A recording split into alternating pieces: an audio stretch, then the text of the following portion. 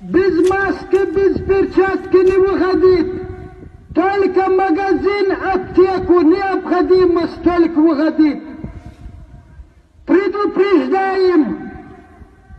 Смотрите, не говорите, потом мы не знали. Строго будет наказывать и штраф будет.